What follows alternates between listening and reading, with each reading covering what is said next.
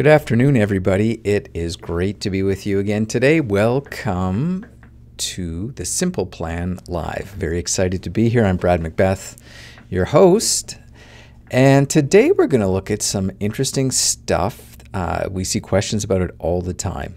Uh, it's kind of a topic people think about a lot, but they're not really sure what to think about it. We're going to take a look at how much disability insurance you should be carrying. Uh, it's an important part of most people's financial plan and protection and security plan. And so it's an important thing to have that all geared up for the way that you live your life to ensure that your family's protected. Uh, the best plans we put together can always be thwarted by the things that go bump in life. And of course, this being 2020, we are all very well aware of the many, many things uh, that can go bump in life, including the ones you really had no idea could happen. So, uh, just want to remind you you can always find us on Facebook at Macbeth Group. Uh, you can also find us on Instagram and on Twitter. Uh, Twitter, we're at Cash Coach Canada. Instagram, we are at Macbeth Group.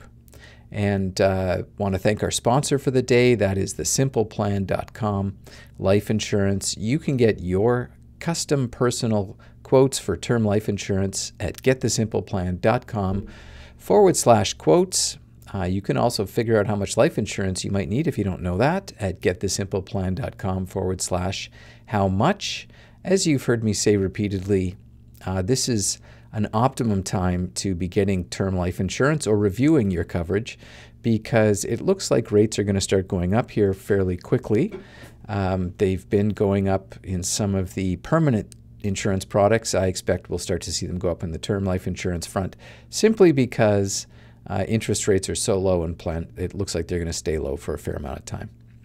And that has an effect on insurance rates. Um, also, um, you can get a lot of coverage right now without, without having to go through some of the intrusive stuff that we've had to go through in the past. You don't need, you can get up to $2 million worth of coverage without anybody coming to your house or taking a blood sample or a urine sample, that kind of thing. Uh, so a lot of people prefer life that way. So uh, those are temporary measures because of the difficulty in getting someone to come to your house, a paramedical nurse. So that's the way it is right now. Uh, may not necessarily stay that way permanently. Um, we do have a helpful tool for you today. It's the Simple Plan Disability Insurance Need Calculator. Uh, we're going to go through that tool. That's our main purpose today. You're going to see how that works. Uh, you can find that for yourself at bit.ly forward slash SPDI calc.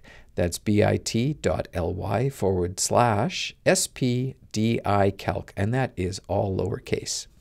So, again, thanks very much. Really happy to have you here with us. Uh, looking forward to a little bit of interesting and educational time today. So, let's get right to it. Um, we're going to take a look at this disability insurance need calculator. Uh, just gave you the link to that so you can go and do that for yourself once you've learned how to use it here. It's fairly straightforward, but want to kind of help you understand a bit of the ins and outs. Uh, interestingly, uh, you could use this, I think, uh, quite well to calculate how much money you should have in your emergency fund as well. Uh, simply because your emergency fund and disability insurance are, you know, you want to try to cover the basics. Um, we're not, I mean, if, if you're really well set out, then by all means, get yourself the Cadillac of disability insurance coverage. Uh, but disability insurance, uh, I can tell you it's a fair bit of hoops to jump through to get it, and it's it's not an inexpensive product. Uh, and the reason for that is we are far more likely to be off work for a period of time, an extended period of time, than we are to die prematurely. Uh, generally speaking, people do not die prematurely, but also generally speaking, many, many people, a significant number, uh, 40, 50%, will spend time off work um, without an income for an extended period of time. So uh, we're going to go into all the bells and whistles and ins and outs of disability insurance coverage in another episode because it's a fairly complex product, or there's just there's a lot of options available. Um, but what we want to look at today is what's the amount of coverage that you might want to have. And so, looking at our calculator here, uh, we're going to calculate the monthly amount because that's usually how we think about these things. And uh, we're going to um, look at first how much you would have available if you were disabled. Uh, that is, consider disability meaning you're unable to work at earning your regular income. Um, so you just start there by putting your name in. I'll put mine in. And uh, I'm just making up numbers here. These aren't real numbers, but uh, we're going to put in how much is your partner's income um, because obviously that's a source. Do you have government sources of income uh, for many kid or many people with uh, children, uh, dependent children? They may have some government source of income. Maybe you get a GST rebate. Maybe you get other things. Who knows? So if you've got something, you're going to put that in there. By the way, if you uh, on any of these green uh, any of these fields, you put your cursor over the green question mark, uh, point to the green question mark, and you're going to get a helpful tip to understand what that little field is all about. All right, so existing disability insurance coverage, do you have any of that? You might put that in there. Um, investments. All right, now let's think about this for a minute. When we look at investments here, we're, we do not want to be taking into account the money that we have set aside for retirement. Because if we start consuming that because we're disabled, uh, that's going to just kick the can down the road. We're going to have a problem when uh, retirement time comes.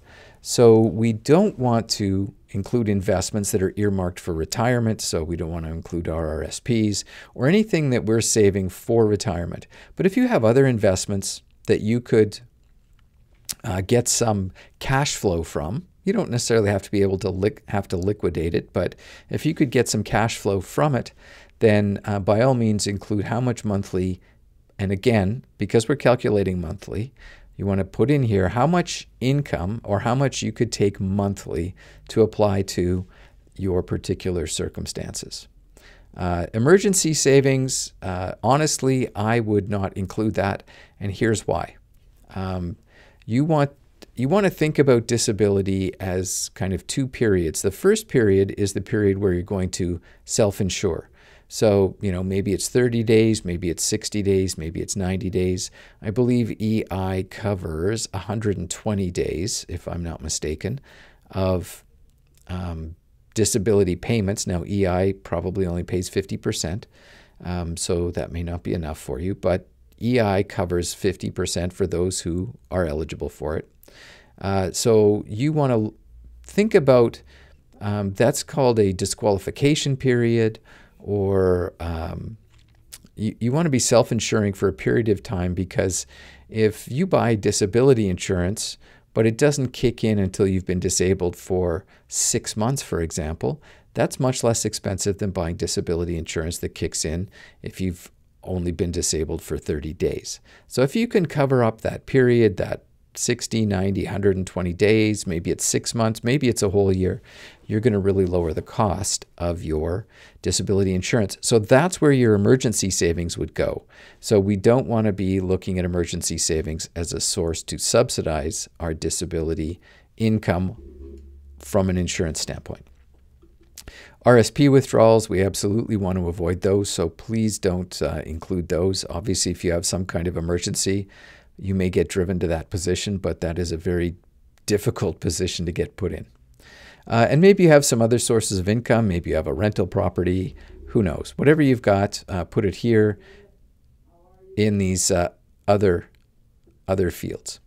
And that's going to give you your total monthly income sources. In our fictional case here with my name on it, um, we're showing $2,000 in monthly income sources. Now, here's where this could be really quite helpful from your emergency fund point of view.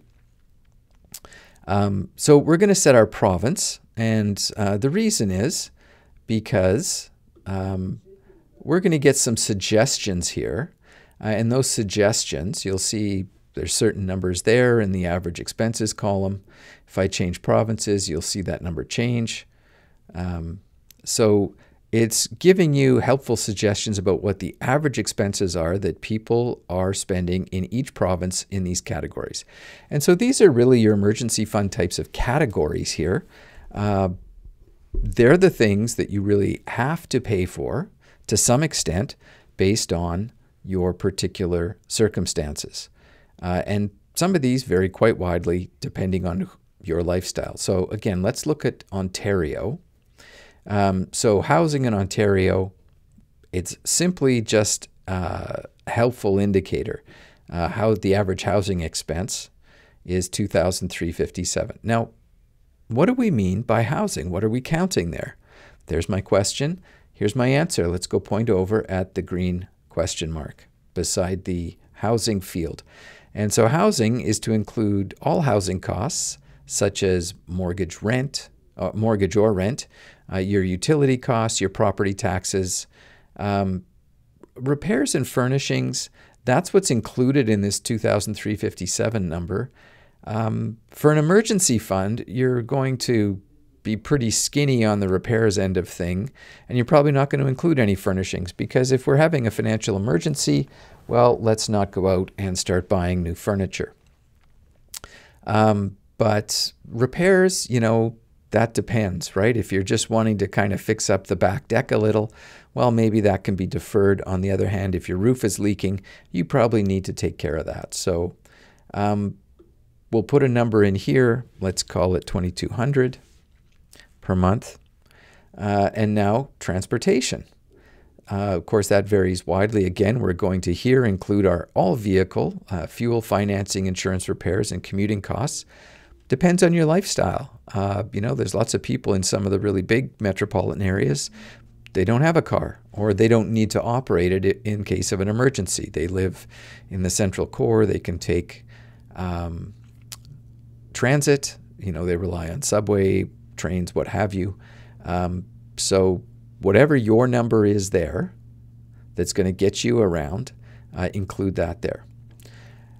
Uh, food, um, again, uh, what we want to be putting in here is we don't want to be insuring uh, or paying for coverage that's going to give us the fanciest lifestyle we've always hoped for. We or even the, the lifestyle we're currently enjoying. We might say, listen, if I'm on a disability, I don't want to be paying for coverage that's going to keep me in uh, steak. You know, it'll be okay if I'm just doing getting by with with hamburger. So um, put in here what your bare minimum uh, requirement is for food. Uh, insurance and pensions. Um, now again, uh, some insurance coverage you're going to have to keep paying, so you want to make sure you've got that included in there um, retirement planning and pensions, you might want to um, plan to put those types of monthly things on hold. Now, of course, there's a big difference between being disabled for six months or a year and being permanently disabled. Uh, so you need to kind of put in there a number for your retirement that is essential to your particular circumstances.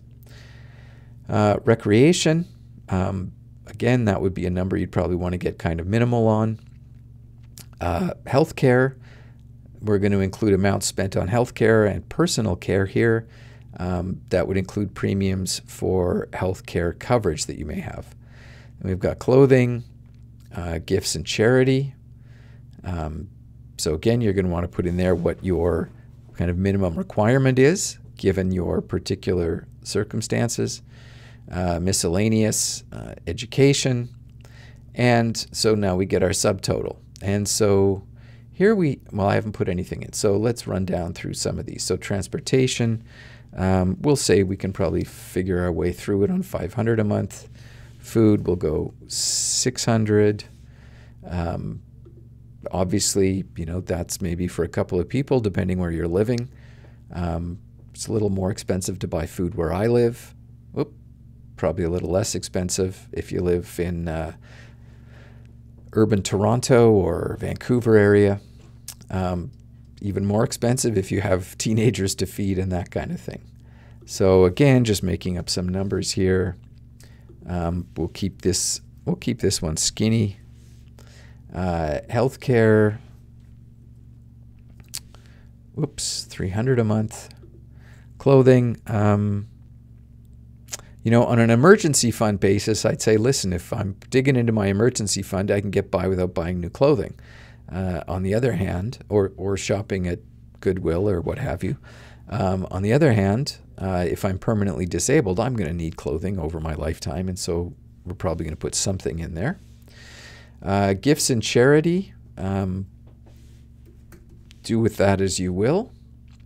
Um, for some of us, uh, giving is not really optional. Um, but uh, for others, you know, they're going to make some choices around that. So miscellaneous education will leave at zero. So we're up to 4,550 a month here.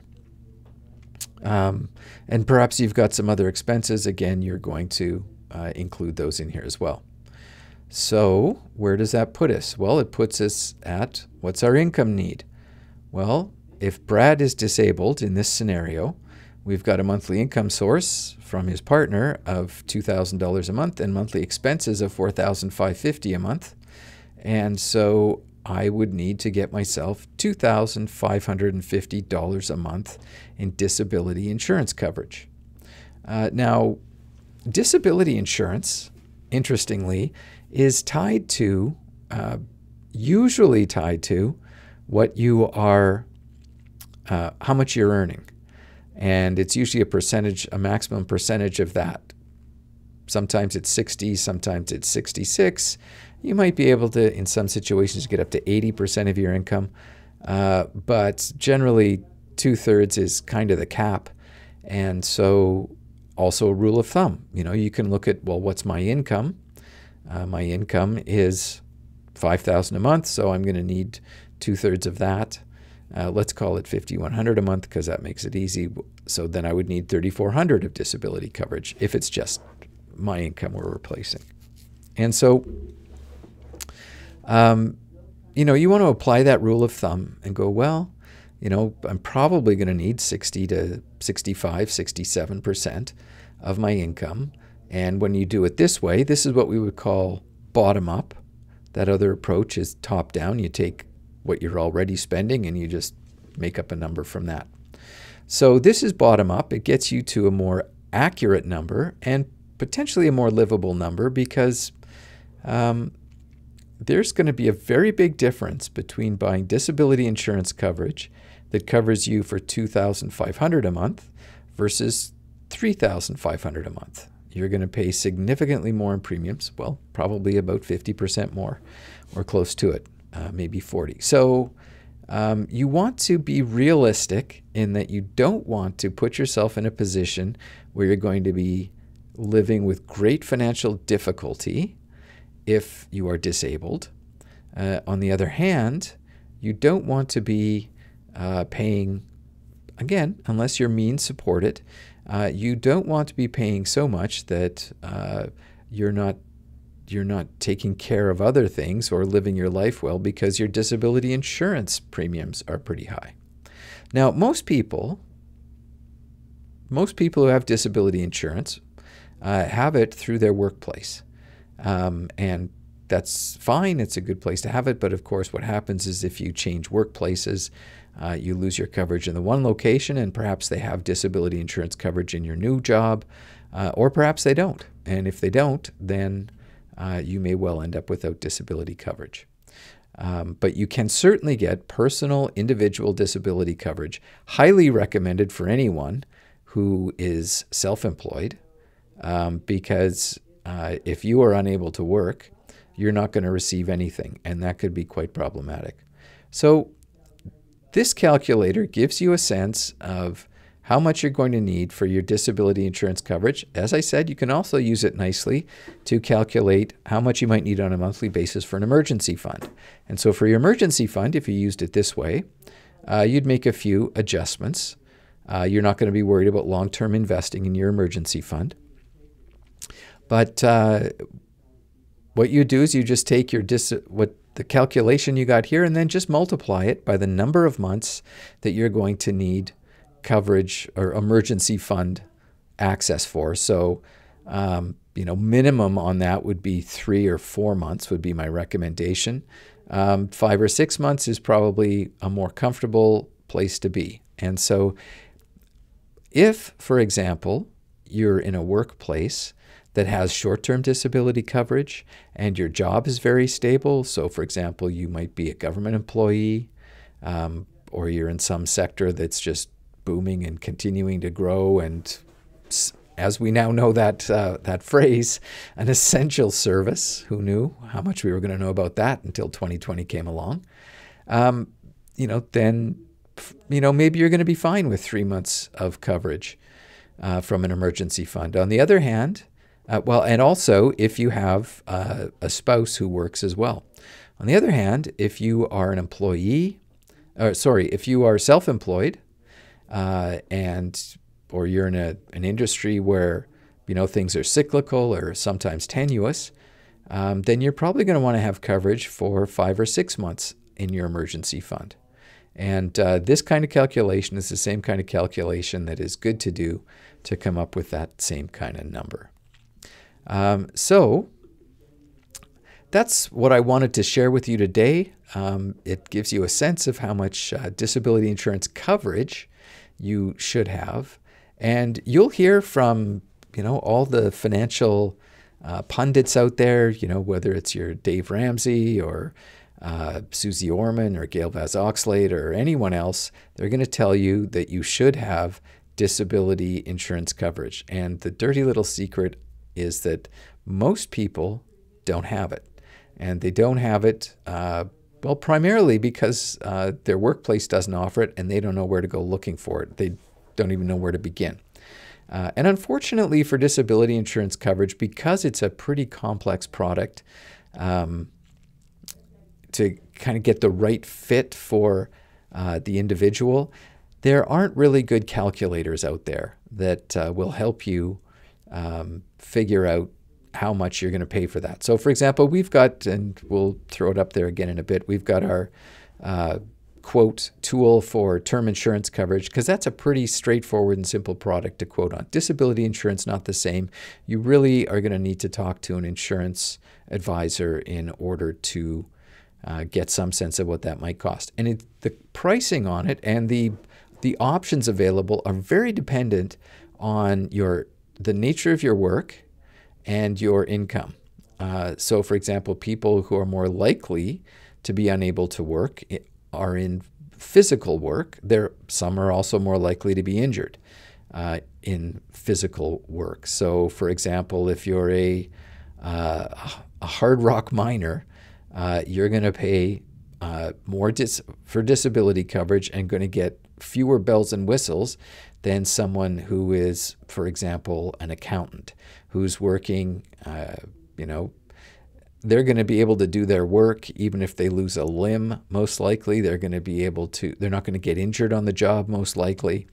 Um, and they're less likely to um, get some kind of illness that would prevent them from working in that industry. So um, it, it's really a very custom product designed around your particular individual needs and so you really need to get an insurance advisor to help you with that um, now, one other thing, uh, because for some people, they don't have, they may not have an income, right? Perhaps you're a stay at home parent and it's like, well, I don't have an income. How can I get disability coverage? Well, you may still be able to get disability coverage because there is some disability coverage available out there uh, based on loans. So, for example, if you have a mortgage, you can get disability, and I'm talking about real disability insurance uh, based on the amount of your loan payments for your mortgage. Now, what do I mean by real? There's disability coverage that you can get uh, from your mortgage provider through the bank, usually, uh, or through, worse yet, the credit card company. Um, you can get disability and life insurance and critical illness insurance coverage through those providers. Those, generally speaking, are terrible products. Uh, the number one reason being that they're underwritten at the time of claim. What that means is uh, and we'll do a whole show on this, but what that means is uh, you don't, uh, they only ask you a few minor qualifying questions up front. They really do their investigations on things if you actually go to make a claim. So what happens is you may have paid into this for many years and then you go make a claim and you find out that you're not covered because they say, well, you didn't answer this question correctly 10, 12 years ago when you got that coverage. So, um, and the statistics on this are, are pretty disturbing. The CBC's done some good expose documentary work on it a while back. I believe the numbers in Australia show that that type of insurance uh, claims are declined, you know, in the neighborhood of 20 to 30 percent of the time. Uh, whereas with standard underwritten life insurance, which this disability insurance coverage I'm talking about is, um, it, it almost always pays out uh, well over 99% of the time. So, uh, and so the times it doesn't pay out are basically times of, of fraud. And so um, you want to have that kind of disability coverage, not the mortgage insurance kind of disability coverage. Um, or the credit card disability insurance coverage. The other thing is, because uh, those will only make your credit card or your mortgage payments, but the other thing is they're really expensive forms of coverage. Uh, so, yes, they're easy to get. You just tick the checkbox, say yes, answer a few questions, and it seems, oh, I'm covered. Uh, the real problem is you are not necessarily covered, which is pretty scary. So uh, we'll talk about that in greater detail another time. Uh, we'll do a whole show on mortgage insurance, but um, we're talking about fully underwritten, big application disability insurance here. And uh, if you are interested in that kind of thing, you really do need to talk to an advisor uh, to help you with that happy they'd be happy to help you find out uh, what the right kind of coverage is for you and how much you might pay for that coverage. Uh, and so you can contact us, or of course, you can uh, contact your friends at uh, the Simple Plan Life Insurance or the Simple Plan Insurance. That's at uh, getthesimpleplan.com forward slash quotes. You can get the life insurance quotes. Uh, or you can figure out how much life insurance you need at getthesimpleplan.com forward slash how much. Thank you to them, our sponsors today. Uh, you can contact the Simple Plan uh, through their website or contact us directly, and we're happy to point you in the right direction on disability insurance if that's what you're looking for. Um, so, that tool that you saw us use today, you can go and use it for yourself. It's called the Simple Plan Disability Insurance Need Calculator. It's at bit.ly, bit.ly forward slash SPDI calc. That's bit.ly forward slash SPDI calc. That's all lowercase. Again, you can find us always on Facebook at Macbeth Group.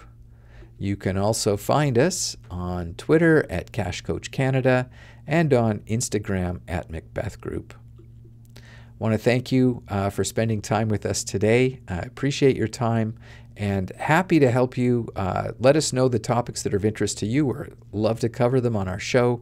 We will be back on Tuesday next week. Have a great, warm, late summer weekend. Oh, and go Canucks. All right. Thanks very much. Have a great day.